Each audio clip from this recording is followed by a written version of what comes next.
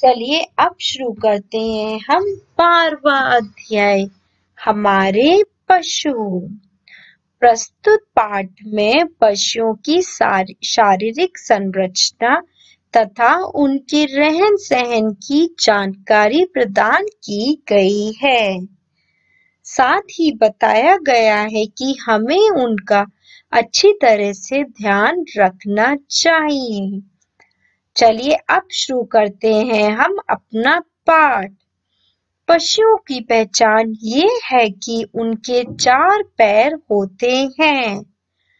पशुओं के बच्चे माँ के दूध पर पलते हैं।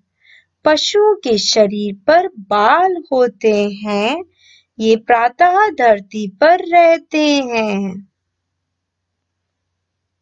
पशुओं के दांतों की बनावट ऐसी होती है कि वे अपने भोजन को अच्छी तरह खा सकें। मांस खाने वाले पशुओं के दांत लंबे सुए की तरह होते हैं, जिससे वे मांस को फाड़ सकें। घास खाने वाले पशुओं के मुँह में आगे काटने के लिए चौड़े दांत और पीछे चबाने के लिए बड़ी दाढ़ें होती हैं। बंदर जो न मांस खाते हैं, न न घास उन्हें कंद मूल फल खाने वाले दांत मिले हैं।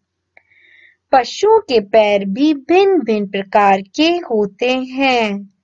कई पशुओं की उंगलियों पर नाखून होते हैं, इसे पंजा भी कहते हैं। कई पशुओं के गाय भैंस जैसे खुर होते हैं। खुर आगे से चिरे हुए होते हैं। कुछ के घोड़े जैसे खुर होते हैं। ऊँट, हाथी और गेंडे आदि के पैर भी अलग अलग तरह के होते हैं। मांस खाने वाले पशुओं के नाखून तेज और लंबे होते हैं। जिससे वे मांस को फाड़ सकें। हिरन आदि पशुओं की टांगे लंबी और पतली होती हैं, ताकि वे शिकारी पशुओं के पीछा करने पर तेज दौड़ सकें। बंदर को टहनिया पकड़ने के लिए पतली और लंबी उंगलियाँ मिली हैं। पशुओं की सुनने की शक्ति बहुत तेज होती है। कई पशुओं के कान बहुत लंबे होते हैं। वे अपने कानों को इधर उधर घुमा भी सकते हैं। सींग पशुओं के होशियार होते हैं, हथियार होते हैं। ये प्रायः घास खाने वाले पशुओं के होते हैं। कई पशु चुगाली करते हैं। वे पहले भोजन को बिना चबाए जल्दी जल्दी निकल जाते हैं। फिर बाद में आराम आराम से पेट से वापस मुँह में लाकर चबाते हैं। ऐसे हम पशुओं को कहते हैं जुगाली करने वाले। जुगा, जंगली पशुओं के घर तरह तरह के होते हैं। कुछ पशु तो धरती में गड्ढा खोदकर उसमें रहते हैं तो कुछ गुफा में अपना निवास बना लेते हैं। कुछ दूसरे की खोहों में डेहरा डालकर बैठ जाते हैं। सभी बच्चों की तरह पशुओं के बच्चे भी सुंदर होते हैं। प्यारे लगते हैं। पशु हमारे मित्र हैं। ये हमारी अनेक आवश्यकताएँ पूरी करते हैं। हमें इनका पूरा ख्याल रखना चाहिए। इनकी रहने की जगह साफ़ सुथरी होनी चाहिए। बीमार होने पर इन्हें पशु चिकित्सालय ले जाना चाहिए। चलिए अब आते हैं हम शब्दार्थ पर वर्ड मीनिंग चौपाया मीन्स चार पैरों वाला। भोजन का मतलब है खाना। शक्ति का मतलब है ताकत। दाढ़ का मतलब है पीछे के चौड़े दांत। कंद का मतलब है जड़ वाली सब्ज़ी। चलिए अब आते हैं हम अभ्यास कार्य पर। पहले में हमें शुद्ध उच्चारण करना है।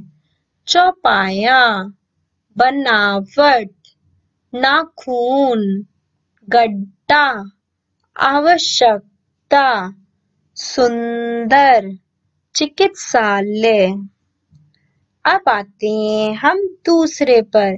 इसमें हमें सही विकल्प को चुनना है। का मांस खाने वाले पशुओं के दांत होते हैं। सुए की तरह।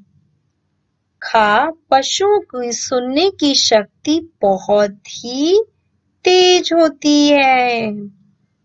गा, पशु बीमार हो जाएँ तो हमें उन्हें पशु चिकित्सालय ले जाना चाहिए। चलिए, अब आते हैं हम तीसरे पर। बताइए, चौपाया किसे कहते हैं? जिन पशुओं के चार पैर होते हैं उन्हें हम चौपाया कहते हैं। पशु क्या क्या खाते हैं? पशु कंद, मूल, मांस, घास आदि खाते हैं। पशु हमारे क्या हैं? पशु हमारे मित्र हैं। चलिए अब आते हैं हम चौथे पर इसमें हमें निम्नलिखित प्रश्नों के उत्तर लिखने हैं। मांस खाने वाले पशुओं के दांत कैसे होते हैं? मांस खाने वाले पशुओं के दांत लंबे सुए की तरह होते हैं। जुगाली करना किसे कहते हैं? कई पशु भोजन को बिना चबाए जल्दी जल्दी निकल जाते हैं। और फिर बाद में आराम आराम से पेट से वापस मुँह में लाकर चबाने को ही जुगाली करना कहते हैं। जंगली पशुओं के घरों में, के बारे में लिखिए। जंगली पशुओं के घर तरह तरह के होते हैं। कुछ पशु धरती में गड्ढा खोदकर उसमें रहते हैं। कुछ गुफाओं को अपना निवास बना लेते हैं। तथा कुछ दूसरों की खोहों में डेरा डालकर रहते हैं। पशु हमारे मित्र कैसे हैं? पशु हमारे लिए बहुत ही उपयोगी हैं। वह हमारी बहुत सी आवश्यकताएँ पूरी करते हैं। इस तरीके से पशु हमारे मित्र हैं। चलिए, अब आते हैं हम पांचवे पर। इसमें हमें रिक्त स्थान को भरना है।